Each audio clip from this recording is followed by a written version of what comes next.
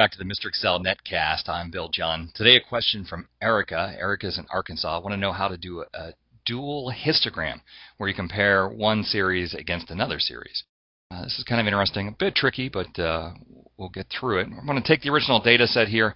I'm going to copy it to a new spot because I'm going to change all of one series to be negative. So basically, a couple of ways to do this. I can enter a minus 1 in a cell and then use edit paste special and multiply to multiply all those by negative 1.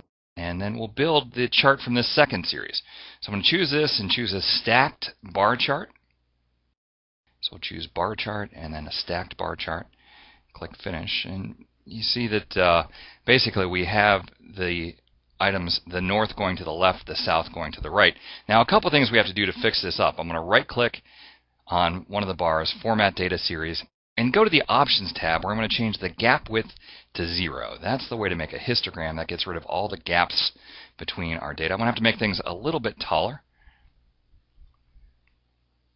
So that way we can see all of the different categories.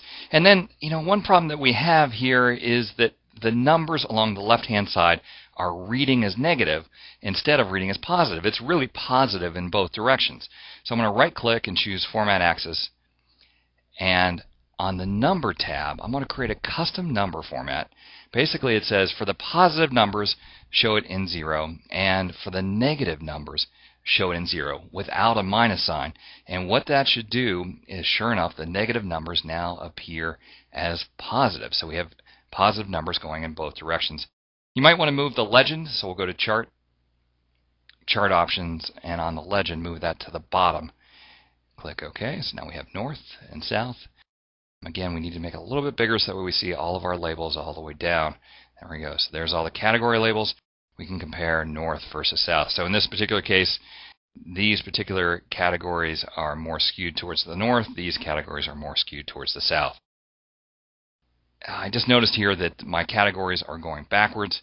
So let's right click Format Axis and on the Scale tab say Categories in Reverse Order. That'll force the A to be at the top of the chart. So very possible to make these dual histograms, although just a few things that you need to clean up at the end. I want to thank you for stopping by, and we'll see you next time for another netcast from Mr. Excel.